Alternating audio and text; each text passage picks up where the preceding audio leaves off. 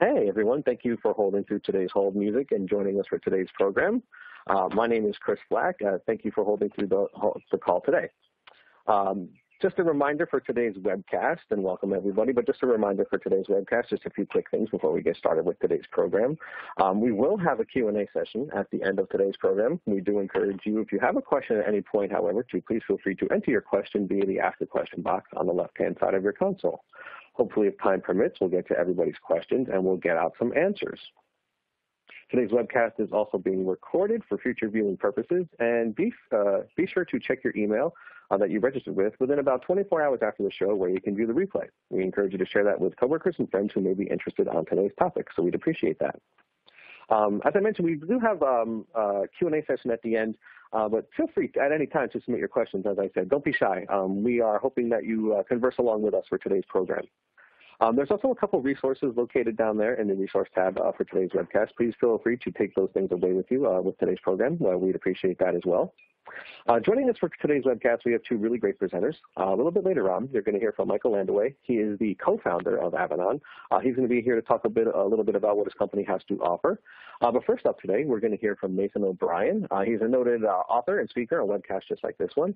He is a Microsoft MVP for Office Servers and Services. He is a Microsoft Certified Solutions Master in Messaging. you can reach him on Twitter at MCSMLab. you can reach him online at mcsmlab.com. And without any further ado, I will hand things over to Nathan to get started with today's program. So please, my friend, get started. Thank you very much, Chris, and welcome, ladies and gentlemen, friends and neighbors, children of all ages. Today we're going to talk a little bit about um, data loss prevention, about data security, uh, as it applies to Office 365 and you know sort of cloud services and, and that transition.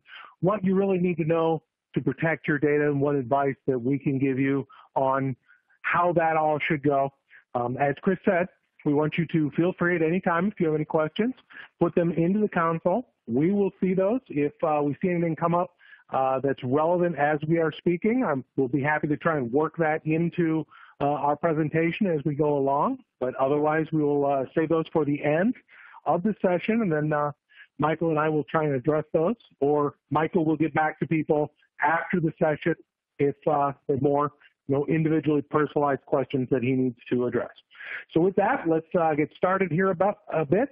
Um, let's talk about why you need data security. You know, my day job, I'm a consultant. I help organizations move into Office 365, make sure everything's work, works. And really one of the major parts of my job these days is is working out the security aspects of that Office 365 migration, making sure that the customers understand the things they need to pay attention to, um, making sure they understand you know the whole regulatory compliance kind of uh, area, how how the technology fits into that. I'm not a lawyer. I can't give legal advice. Um, but I can give technical advice. And sometimes that gets a little confusing for customers. Um, but, but I'll try and explain what I mean about that a little bit more as we go along. So why you need data security um, and what DLP really can do for an organization. In, in my um, sort of experience, I think the first thing that I really want to touch on is what DLP can't do. I think that's what's important here um, as, as organizations first start looking at this. Uh, I often have customers uh, come to me and you know, their intention is to implement DLP, either you know an Office 365 based solution or another third party um, based solution to prevent bad things from happening to their data, to prevent bad actors. And I really need to stress that you know that's not what this technology is for. So if someone wants to, you know, if one of your employees wants to steal credit card numbers, you know, and sell them on stolen credit card numbers, dot, dark web or whatever. Um, DLP isn't going to prevent that. DLP can't prevent that. You know, everybody has a phone in their pocket with a camera on it. People could take a take a picture of their computer screen, or people could you know manually write down 16-digit credit card numbers. There is, you know, there's no technological solution to prevent bad actors that's going to be 100% foolproof. So I think the first thing that's important to think about as you're doing and setting up this DLP is what are your goals for DLP? And Um, the primary basic goal, uh, I think, should be that you want to help good people who are trying to do their job properly do their job better. You want to help prevent them from making mistakes. You don't want to, uh, you can't try to keep them from stealing data. If you have people that you think are stealing data, those people should be fired. There's a different solution for that. Technology isn't going to solve that. Let's move on here a little bit. Um, you know, requirements for data security. The sort of things that we have to think about as we're implementing DLP is, you know, how do we teach our systems to classify this data? What what data are we looking to protect um, versus what data we're not? Obviously, if you know, if we want to make sure that um, the employees in our company never send any data outside of the company, that solution is easy. Don't use email. Or use email, get an on-premises server, set it up, and don't have that server connected to the internet. Then nobody's going to email out your data to the internet. Obviously, that's a ridiculous solution, though, in this in the world that we live and work in. That's not something that you can do. Your people need to be able to communicate with the outside world. So what we're doing with data, with this data classification and with data loss prevention is we're helping our users communicate out with the world, but kind of gently giving them reminders and guidelines so that they don't make mistakes about accidentally sending credit card numbers outside of the company or social security numbers outside of the company or maybe more complex data sets outside of the company. And that's, you know, we're going to talk about that a little bit more as we get into this. So we really need to classify that data. And then once we have the data classified, we need to figure out what the enforcement mechanism is for that, um, how we're helping these people do the right thing, not how we're forcing these people to do the right thing. And then, you know, policy management, how are, what is our IT administrators' experience uh, in setting up our DLP solutions? What, what does that look like for them? Is that something that they can handle? Um, I find that as you know, as we move to Office 365 in the cloud and that becomes more popular, in the early days, I got uh, IT administrators would ask me a lot of questions like, "Is Office 365 going to make my job obsolete?" Um, it depends on your job is the answer to that. If your job is to watch servers and make sure that they don't catch on fire, well then moving to Office 365 is going to make your job obsolete because you're no longer going to have servers that you can watch. Those are going to be Microsoft servers in Microsoft's data center, and Microsoft isn't going to let you come into their data center and stare at their servers. That's not your job anymore. So our job as IT pros, after we make this step to Office 365 and, and cloud computing, has to be more about understanding the service that we're getting from our cloud providers and being able to work with that service as it changes constantly all the time and being able to communicate how these services work to our user population and management and help them use them efficiently and in the best way possible. A little bit of specifics about Office 365 DLP. Um, I will I will start off any talk on this uh, slide with the disclaimer that I am willfully ignorant of any Microsoft licensing concerns. Uh, I intentionally try to keep that out of my brain because it's super confusing and it's not what I do. Um, you know, I focus on making the technology work, not on paying for it. That being said, on this slide, we're kind of showing you that DLP within Office 365 isn't isn't just one thing. There isn't just one checkbox somewhere that you pay two dollars a month and everybody gets DLP. There's different levels and and different an evolution of DLP in Office 365 that makes different people might have access to different DLP features. Um, since Exchange 2013, DLP has been built into both on-premises, excuse me, and Office 365 Exchange. Uh, that's it's really an expansion of transport rules, and it's capable of recognizing specific data sets and then acting on it.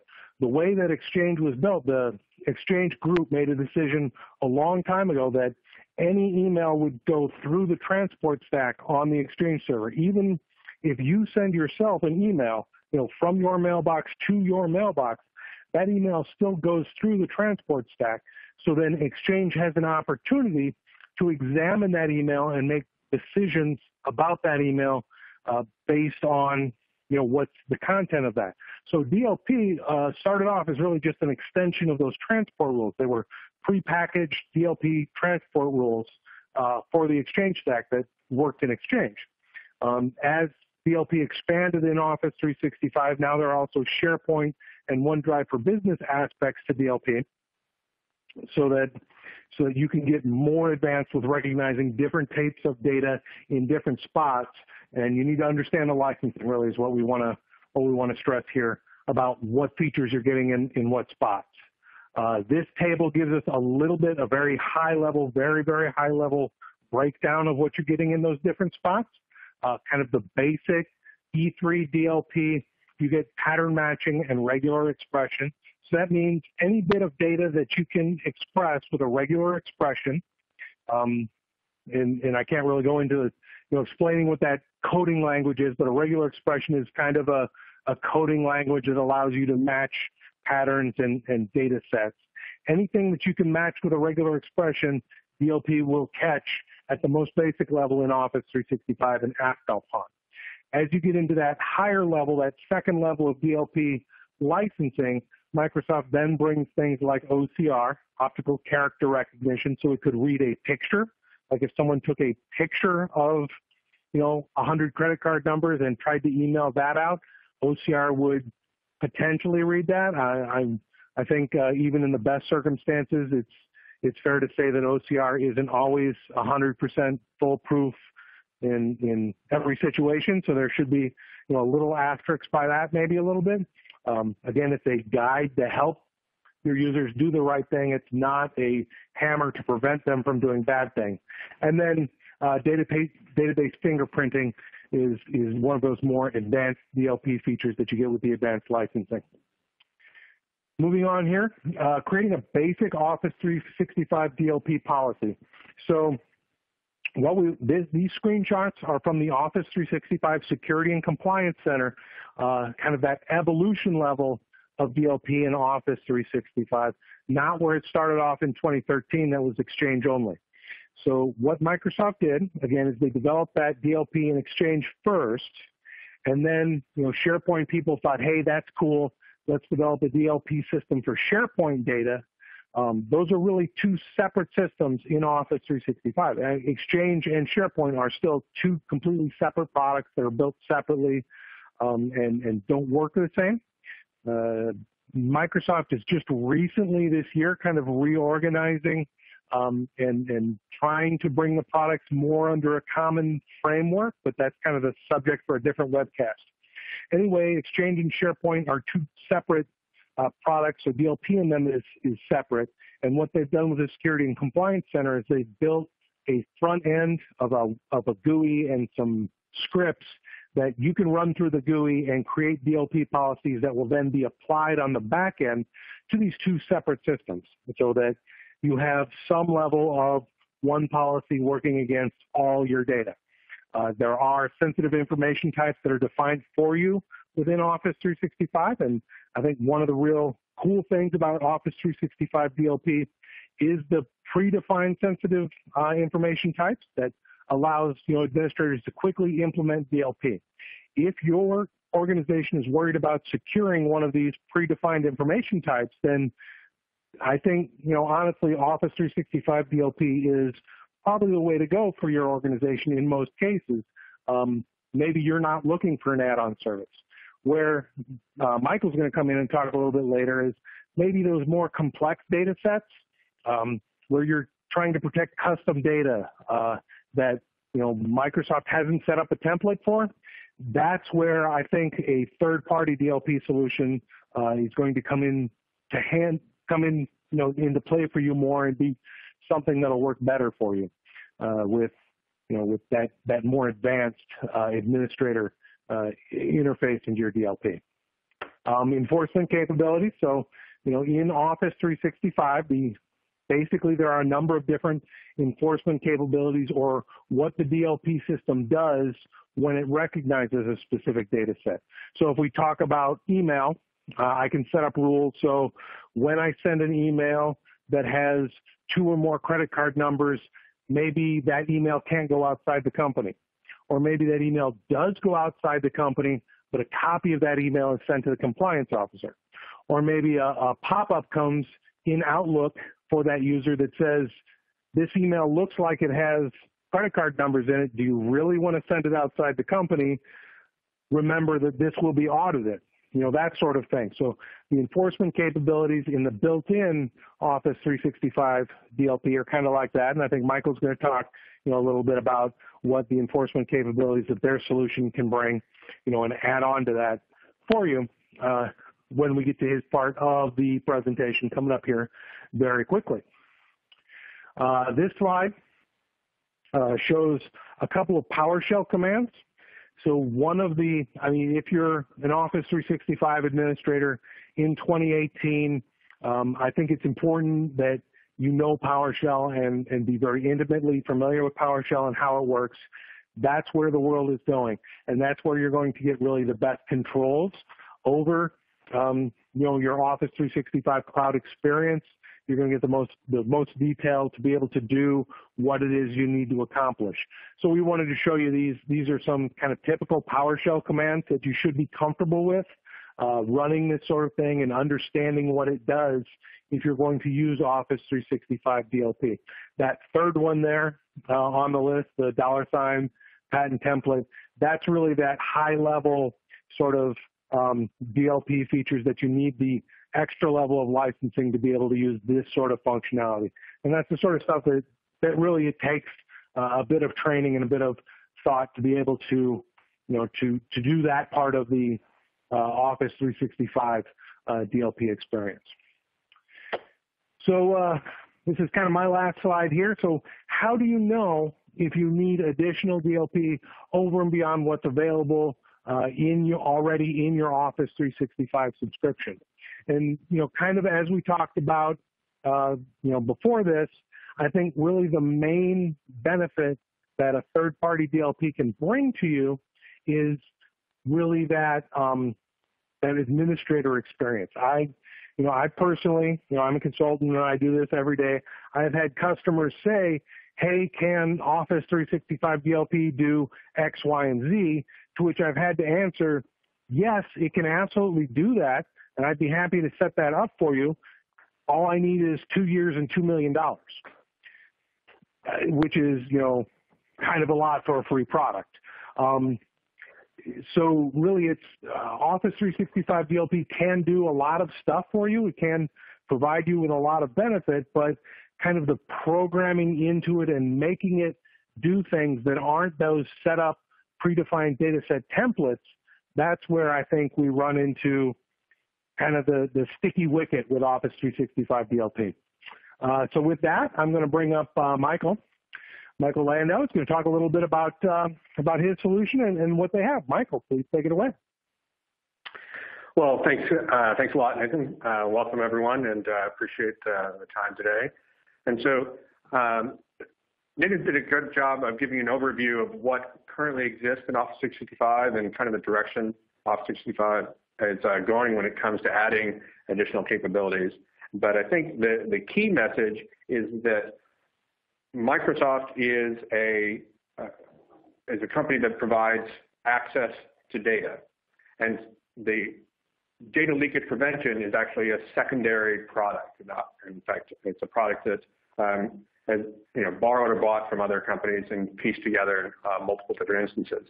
So what I want to talk about is how to add additional capability above and beyond what Office 365 offers uh, through our product called Avanan.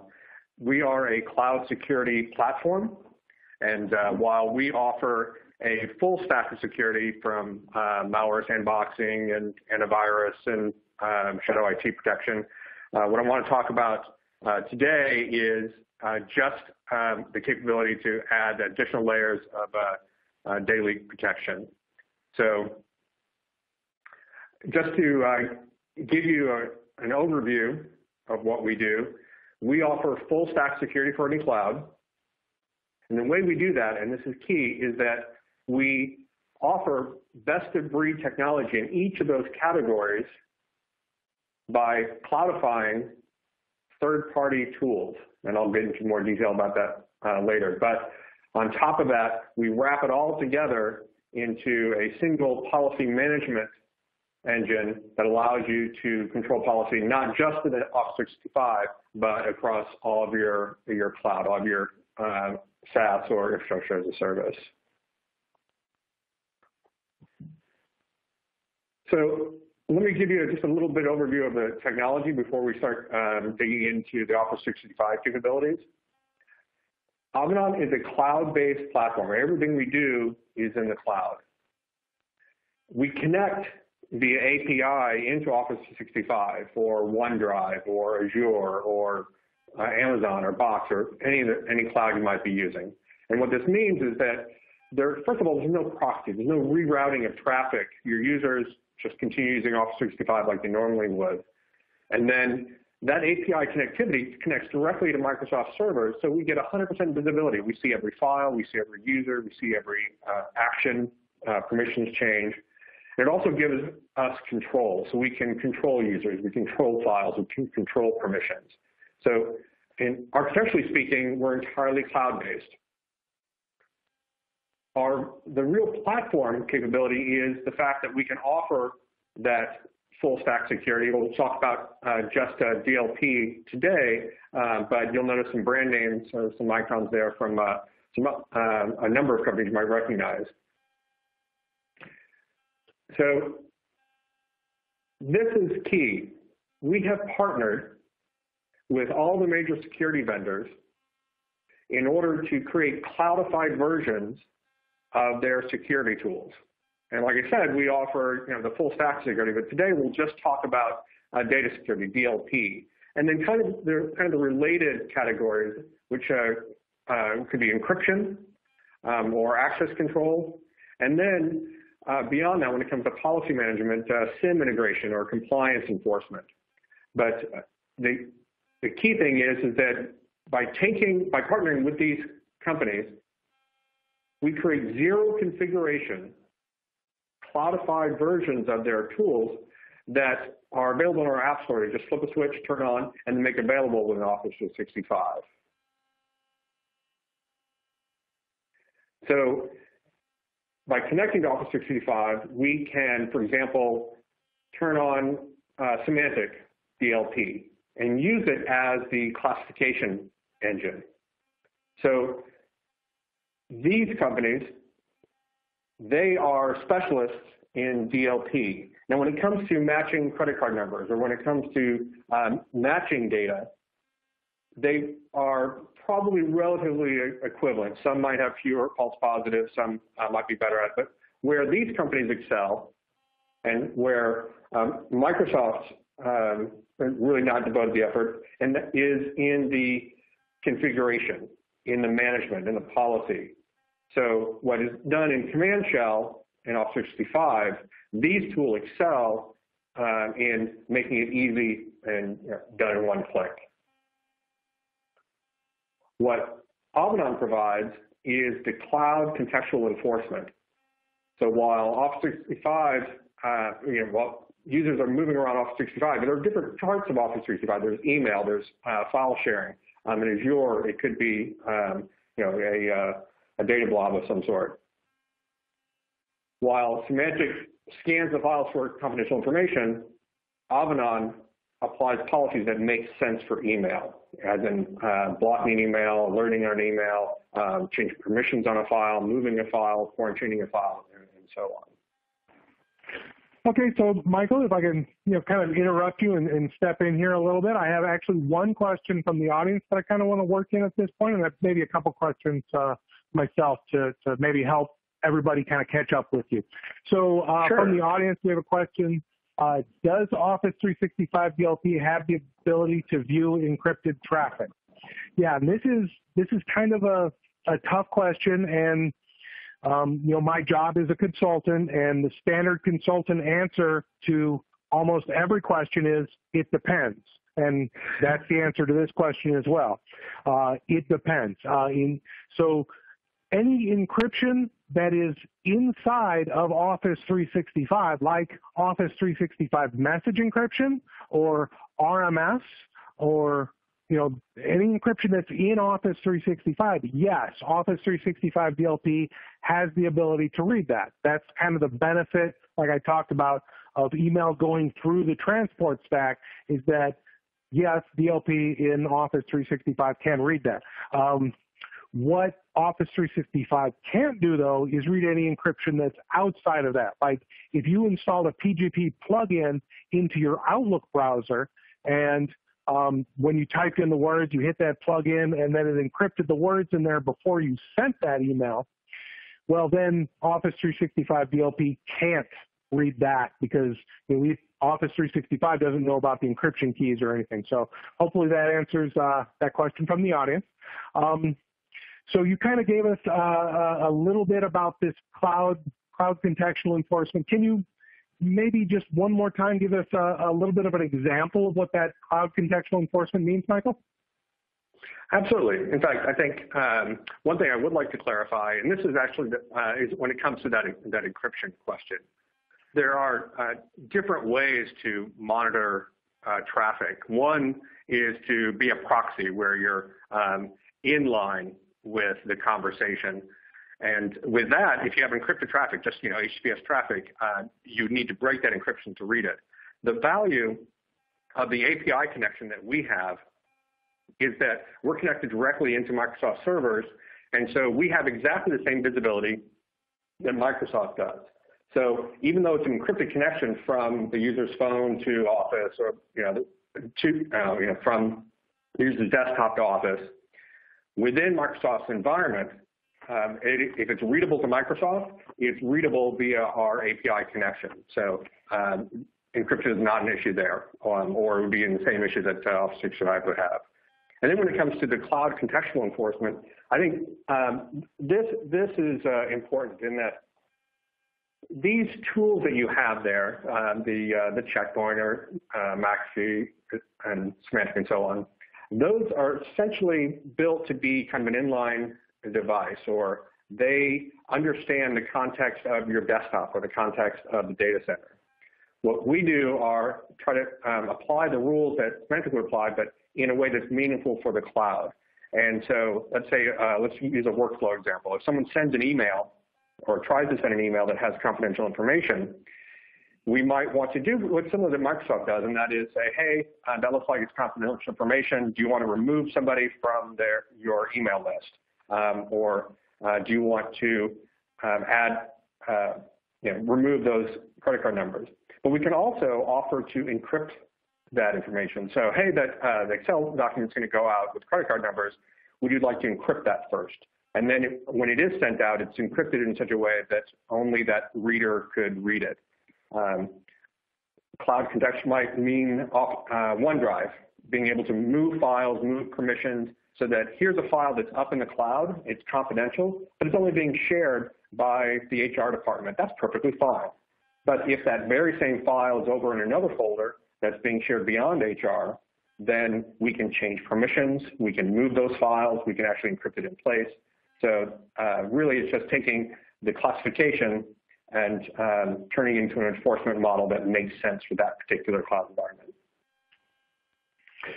Very good, cool. I think that uh, I think that makes it more clear for us, and uh, hopefully, if there's you know anybody in the audience that has any anything additional kind of on that that they want to add, uh, feel free to send us. You know, put in that question in the Q and A um, console, and we will uh, we'll try to answer that. Before you move on, though, Michael, I have you know four little letters, um, one little four-letter word that seems like it's coming up every day, all the time recently. Uh, how does all this apply to GDPR? So actually, that's a great question. And I think uh, this is actually where the value of uh, cloud context makes sense in that it's one thing to know that it's a confidential file. It's one thing to know that that uh, email is going out to somebody outside the organization. But what about determining who is currently using the file, where that file is currently stored, and where is that user logging in from? So that, that additional context makes it possible to create geography-based policies uh, like GDPR. So I might log in um, to a European instance of Office 365 and feel free to use uh, files, email files, and so on. But if I log in from some someplace outside in Canada or South America, our system, our system will know that and be able to restrict capabilities based upon geography, and which is essentially what GDPR is. It's a, um, knowing what that data is by classifying it and where it's being used by identifying uh, the user and the recipient. Awesome, very good. So uh, let's let's let's move on here from that, and let me ask you: How do you select uh, one of these data classification vendors over another? How does that whole process work for for your guys in your organization? So actually, that's a that's a good question, and uh, I um, I'm going to answer that in a couple different ways. One is going through kind of the checklist of capabilities. Um, each of these uh, companies have uh, the ability to um, do, for example, the pattern matching or regular expression. In fact, um, our platform by itself has kind of the same capability that Microsoft uh, by itself would. But then with the additional certain partners, we add the optical character recognition or the ability to fingerprint certain types of files, tax forms or healthcare forms and so on, um, or doing uh, an exact file match. Now, you could actually compare each of these uh, based on just a checklist, just read the feature list. Um, in fact, uh, there, you probably recognize all those names, but you don't recognize uh, GTB there. Um, that company has done really well because it does such a good job with optical character recognition. Um, you know, upside down text, text that, uh, you know, roughly written. Uh, it does a good job of converting that into a format that um, can, we, you can actually build policies on. So uh, with that, you can just look at a check, checklist. And then um, where where the future is going is in the kind of the new AI, you know, artificial intelligence methods um, that you know the, the, the more traditional players are just starting to get into, but the smaller players are um, really accelerating on. I hope that answers your question. Yeah, very good. Okay, so that excellent uh, there on, on that. But so it kind of leads me to another question that I have, um, you know, about this slide. Um, I have an iPhone. Uh, my iPhone has had Siri for, for many, many years. Uh, kind of works sometimes in kind of some situations. If, you know, I stand on one foot and pat my head and rub my belly and talk with just the perfect accent, I can make Siri figure out stuff. So how does, how does AI work for data classification? So this is kind of where the industry is going because uh, the finding of the documents is is not the hard part. It's the uh, the defining of the rules to eliminate uh, the, the, false positives because um, it, it, it, doing it manually just becomes unwieldy. We have customers with you know terabytes or petabytes worth of data, and um, trying to define what should be considered classified becomes more and more difficult. And so the new AI tools actually do it for you by pointing, uh, they, you know, you point it at um, a, uh, a, list of files and, and, say, okay, what do these files have in common? You tell me, you know, artificial intelligence, you know, machine learning tool, what do these have in common and what can I use uh, to determine um, what's confidential? So if you see things that are similar to X, then consider it confidential. And these over here, these are not confidential.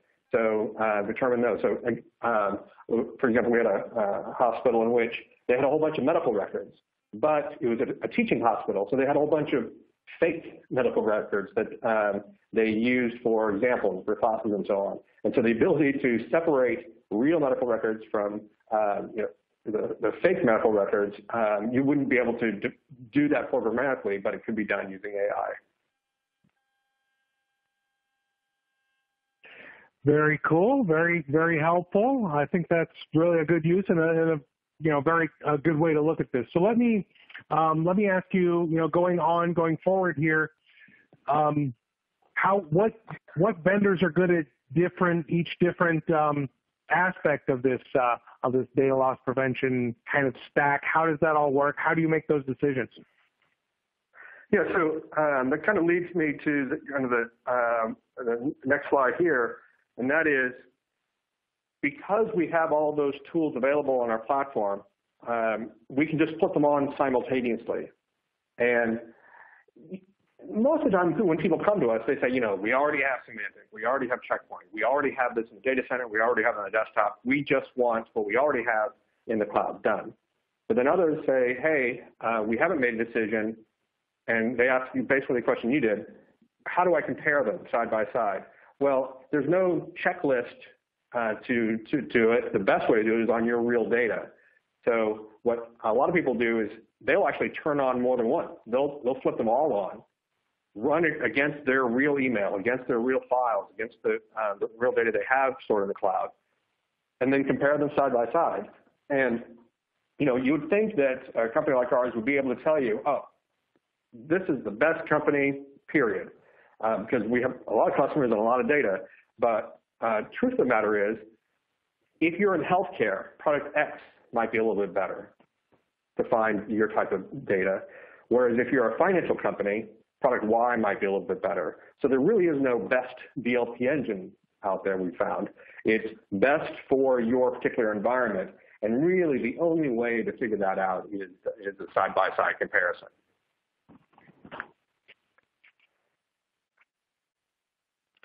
So in fact, Whoops, um, just, uh, I, just okay. muted myself there incorrectly there. But okay, so yeah, I I mean what you're saying there with with comparing the different DLP engines, I think that's really the same thing that I say a lot over and over again about you know is my job safe as I move to Office 365. What the role for us as IT administrators uh, in this new cloud world, I think, is going to end up being, and maybe should be, is that it's our job to you know, help our management and user base kind of sort through all this different information and all these different possibilities um, and, and provide the best answer that works for my organization with the available tools. So I think that's really that's really a super helpful thing that you're you're bringing to this whole question there that that whole thing. So okay, um, moving on though, I see you have uh, encryption as one of the columns on here. How how does that work? Yeah, so um, I kind of mentioned that before in that, um, you know, we, we can use encryption as one of the uh, enforcement um, policies. And that is, you know, before I send an email out, should I not send it or should I encrypt it before I do? And uh, encryption is one of those things in which it's, it's almost impossible to have more than one encryption uh, protocol running within your company because you have, you know, key management and et cetera and so forth. So the last thing we want to do is have a, a, a whole other encryption mechanism for uh, your email and a whole other encryption mechanism for your files in the cloud, a whole other encryption mechanism for what you're using on your desktop. So what this does is allow you to uh, pick and choose. And you might choose, even though, let's say, Symantec has um, a, is a deep, great DLP engine, they also have encryption, but maybe you're not using Symantec encryption. This allows you to actually bridge that gap between two different vendors. So you can use one for data classification and another for that encryption so that uh, you can standardize not across your, your enterprise, including the cloud.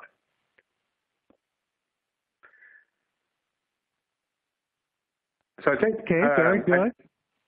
Yeah, in fact, um, I'll, just to um, I'll kind of move on to the, the policy orchestration part of that, and that is, um, you know, bridging policy is kind of the bridging the gap between the detection and then the the action, and this is where uh, you know the having a platform makes such a big difference in that we bridge that gap between vendor A data classification and vendor B encryption, or it could be vendor A um, data classification and SaaS B or you know X, Y, and Z, so that we can create uh, have, create a different rule or create a, a, policy that applies to just one cloud or across all clouds simultaneously, and then uh, be able to do that in one place. Because while we've been talking about Office 365, and, we, and that might include OneDrive, but uh, right now, there is no way to apply a rule to Office 365 and Azure. Microsoft hasn't included Azure into its uh, infrastructure for DLP, much less Google or Amazon or, or Box. So it's not only bridging the gap between different security vendors, but also bridging the gap uh, across cloud. So okay, so uh, let me. Oh, oh, go ahead. Let me. I want to jump in here real quick with uh, one of the questions that's coming from the from the audience. Uh, does do you, Michael? Does your organization have an API to hook into our TSA into? Um, I'm not really sure what that means myself, but maybe it makes more sense to you. Sure. So um, part of our, our infrastructure is because we are a true platform, because um, we um, not only do we connect the API to all the cloud, but also we integrate with what you may already have within your environment. We use the standard protocols for your policy engine, for your reporting engine. So in, in most cases, we have that just off the shelf. Um, in other places, uh, like a lot of uh, financial firms have uh, you know, a lot of customized tools.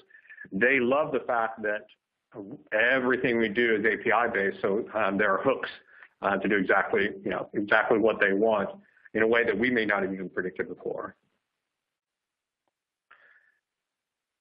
So uh, you know a good example of that yeah. is kind of, of what we what I see here is just um, this is kind of our, our policy engine. And here's an example of, you know, creating different policies across different cloud, And, you know, as we, as we drill down, uh, we can see that it's kind of the same point and click that you would get um, in the, the, Microsoft wizard, but this is uh, uh, includes all those uh, pieces and parts in, in one place. So here's you know here's a SharePoint DLP um, rule, and you know, we can pick and choose the uh, the criteria, so it could be financial information, et cetera, and so forth. Uh, but you'll notice that in the actions, we have a choice of um, moving files, uh, changing permissions in files, um, or um, using uh, Check Point Capsule um, in order to uh, encrypt a, a, file. So the idea is that uh, we're using product X to to scan for uh, PHI and then using a Check Point Capsule to encrypt it, if that makes sense. Yeah, yeah, I think that's um, so that's really good. That's really I think that gives us a good a good platform to uh, to work with this, and that's really one of the major problems that uh, you know that I see with my customers in, in DLP and how that all works is is having the right um, platform for that. So all this configuration is done within your interface. What what if we need more advanced control though? Yeah, so um, our our job is to streamline across all these different tools. But what's nice is is that when we deploy, let's say, this, uh, the Symantec in the cloud, we also give you access. 99% uh, of the time, you never even need to touch that third-party tool. But uh, we also um, allow you to tune both the detection engine um, or tune uh, the policy um, to customize it for your particular environment. So 99% of the time, it's all point and click, but under the hood, we have some very, very powerful tools to, um, even uh, do more advanced things. And uh, in fact, um, I want to show you kind of the, the, the big picture here, and that is um, you know, in this interface, this is this is our dashboard. This is uh, bringing everything all together, and that is you know malware events, phishing events, uh, anomaly events, shadow IT events. But um, in the center there, you'll see you know DLP events, and that's across all clouds. So you know Box, Slack, um, Gmail, Azure, um, Salesforce, and so on. And what this means is that um, we we're more than just a, a silo. And I think uh, one of the key things that um, people come to us about is they have deployed some sort of security with Office 365, and it's fantastic. They love it. However, they have more than Office 365. They have other SaaS, and there really is no way to start rolling out across other SaaS what you've already built in Office 365.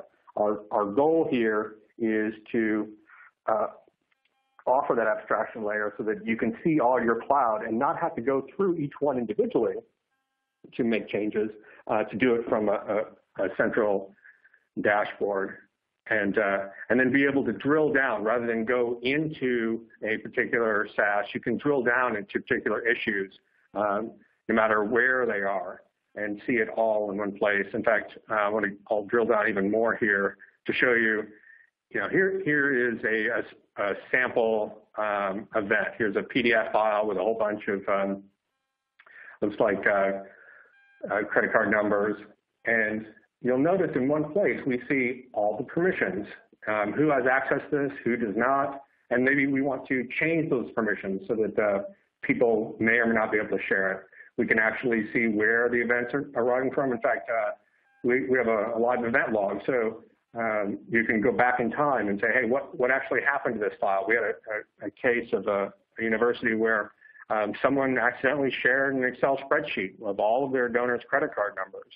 And while that would be a violation and probably involve some fines, we were able to look back in history and say, yes, it was, it was on a share, but no one accessed it. So no harm, no foul, and most importantly, no fine. This, that, having that level of information, um, more than just um, seeing events, but seeing history, um, really uh, shows the benefit of gathering all that information in one place. Okay, that's um, yeah, I really like that. So, okay, next, let's, yeah, let's go ahead and, and, and, and sum up for me. Let's let's do that. Go ahead. Yeah, I'm not, yeah, kind of noticing the time there. So, um, I really kind of the big picture is this: is that if uh, Microsoft DLP works for you, fantastic. Um, there's there's no no reason to go any farther, but it's not their specialty which is why we offer the industry's best. And we can say industry's best because we pretty much offer them all. And we can uh, find a classification engine that works for you and then apply them not only across Office 365, but across your cloud, not only for DLP, but you know, for all of your, your policy management. So that, that's kind of the, the, the big picture. And um, I know just to uh, uh, preempt one of the, the questions, I think, I'm going to go ahead and answer uh, the one that, uh, you know, the number one question so far is, um, how much does all this cost? So like I said, um, we, we offer um, a suite of capabilities, and so we, we package them together. Um, so we have our basic security, which offers, you know, anti-phishing and policy enforcement, account takeover. We have our malware suite, which is, you know, antivirus and malware sandboxing. And the, the DLP capability comes in at our you know, $5 per user per month package. Uh, that's usually because people want malware protection um, as, well, as well as uh, they want uh, DLP. But we also have an a la carte model that allows you to just pick DLP. So if you're if you don't need any more, you just need DLP capabilities, then um, for you know just a, a or two per, per month per user, uh, we can add that to Office 365 or add it across all your clouds. So um, the packages are to make it easy, um, but the a la carte kit makes it uh, flexible. So um, that answers kind of the leading question. So uh, we can uh, kind of answer some of the other ones now. Cool. Yeah. Thank you so much, Nathan and Michael. I'll give you guys a second to catch your breath here. Um, so for those of you in the audience, if we didn't get your question asked already, uh, please feel free to submit it at this time. Um, if we don't get to your question, please don't take offense. We're just running out of a little bit of time here, so we'll try to squeeze as many questions as we can uh, before we uh, before we close out the webcast today. Uh, so please feel free to submit your questions at this time for Michael and or Nathan if you have a question. Uh, that'd be great. Um, so guys, uh, we'll start the Q&A, but just a, a quick reminder, there's a free 14 14-day trial. Um, excuse me, you can just uh, visit the URL right there on your screen, um, and you can try the 14-day free trial. So feel free to go visit that and check everything out and um, and get some experience with it. Um, so first question here, I'll direct it. Uh, this is from Michael. Um, what if I want to switch DLP? What happens to my policies? If so. Yeah. Um, that's a, that's a good question. Um, what we've done in our case is separate uh, those two pieces. There's the classification and then there's the, the policy. And what that means is that you can switch the DLP engine. So you can um, decide to have McAfee and then uh, move to Symantec. Um, in fact, that's actually quite common as people you know, merge companies or move, uh, make other decisions, and the policy stays the same. So um, that that layer of uh, abstraction make, makes it easy to do that. It also makes it future-proof in case something better comes along, and I'm 100% sure that it will. You can uh, swap that out without um, you know doing a kind of root canal switch from one engine to another. Uh, we've got another question here for you from the audience. This person is asking, do I need to have the DLP tool deployed in my data center? So yeah, that's actually a good question. I think uh, I probably uh, did not um, clarify that just because uh, the it, most people already have DLP within their network, and they're just wanting to add DLP to the cloud. That's kind of a typical use case. But no, uh, the answer is um, it can be, um, you may have no DLP deployed at all. In fact, you don't need anything in your data center. Everything we do is in the cloud. We uh, take care of deploying it, connecting it. We also take care of all the, management of it, the scaling of it, the licensing of it. So uh, there, you, it doesn't really matter. You flip a switch, and we take care of everything from the back end. It's just the, the per month, and then um, nothing more to do on your on your side. Nothing new, nothing to do in the data center. Uh, we've got a question here. Um, number one question probably this person wanted to ask was, uh, do you have an estimate? How much does something like this cost? Uh, without getting into specifics, because you don't know somebody's setup, uh, how much does it cost uh, for somebody? Yeah, that's actually, um, yeah, so like I said, most people are getting the bundles, and the bundles are, are cheaper. Um, what we've done is we've taken all these companies' uh, DLP and their licensing scheme and converted it into a per user per month pricing. So it could be just, you know, uh, a buck, could be two. Um, we also have the case of um, some some of our customers have an enterprise license. So um, you know, Palo Alto might have a, a license for um, their entire uh, Palo Alto license for the entire company, in which case they're paying no additional uh, licensing cost to have it in the cloud. Uh, just cut and paste that license into our cloud instance and it's done. So for them, um, it just, um, I don't want to say free, but it's essentially free in that they're not paying any additional licensing for that capability. So um, our, our business model is that we make money on the platform um, and you know we're, we're not out to make money on these these additional tools. So one, it's the, kind of the cheapest way to deploy these tools because you know it's volume pricing, per user pricing, and uh, we will uh, reach out and try to find the best way to deploy this. So you can purchase it through us per user per month, through a third party if you can better, get a better price from someplace else, or you already have a license. So um, I don't have a, a, good answer for that, but I will say that um, it's in your best interest, my best interest, uh, to find the, cheapest way to deploy that, that technology for you.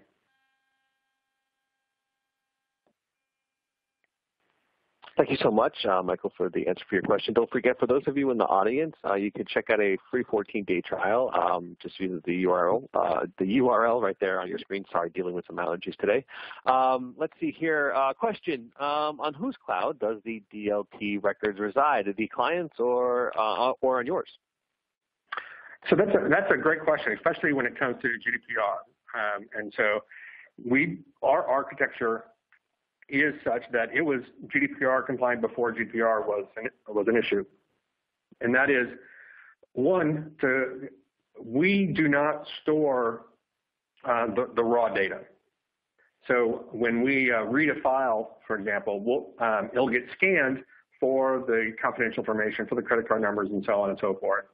But uh, we don't keep a copy of that file. We keep only metadata about the file, and that is the name of the file, uh, who has the permissions of the file, and then when it actually comes to the confidential information that was found, that's uh, dependent upon uh, the customer. So some customers do want us to record in our database the credit card number that was found.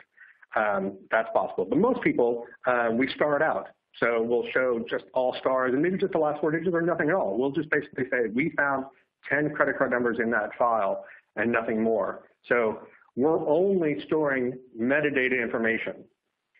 That information is stored um, in our cloud. And just to uh, give you a peek under the covers, our cloud is actually in Amazon, which means that we can move it anywhere. We can put it in a FedRAMP um, you know, environment. We can put it into a GDPR environment in Europe or even split the data across those. Uh, we actually um, can take that environment and move it into Azure so that um, if people have a preference to have the data stored there. But in the end, we're not storing the raw data. Um, we are just storing the metadata. All right, awesome. Well, thank you so much, Michael. I think we've plowed through uh, all the questions that we have here today. So thank you so much for your time. And Nathan as well, thank you for presenting. Both you guys, that was a lot of fun. Thank you for joining us for today's program. Uh, everybody in the audience, thank you guys for joining us as well. It's It's been almost an hour, so thank you so much for your time. Really appreciate that. Everybody who hung on during the pre-conference as well, listening to the music, big thank you to you guys for uh, logging in early. Uh, but today's webcast uh, is brought to you by Redmond Mag. Please feel free to visit the website for future webcasts. And don't forget, you can check out the 14-day free trial uh, right there with the link on your screen. It's also in the resource tab of your doc uh, for easy access. Um, but yeah, everybody have a great rest of your day, and we'll talk again soon. Take care, everyone. Thanks a lot.